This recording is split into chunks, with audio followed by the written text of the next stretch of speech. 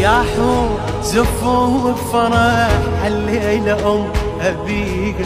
وطشوا من الجنة وري خلي تبارك بيك هاي الجليلة الطاهرة ما حد قدر يدنيك لا زيد لا عمرو فقط حيدر يلوق عليها